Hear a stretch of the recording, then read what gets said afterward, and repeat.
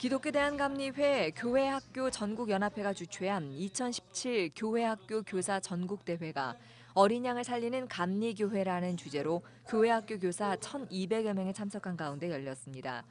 전명구 감독회장은 개회 예배 설교에서 하나님께서 나를 부르셨다는 소명의식을 갖고 어린 영혼들을 살리는 일에 최선을 다하는 성령 충만한 교사들이 되길 바란다고 참석자들을 격려했습니다.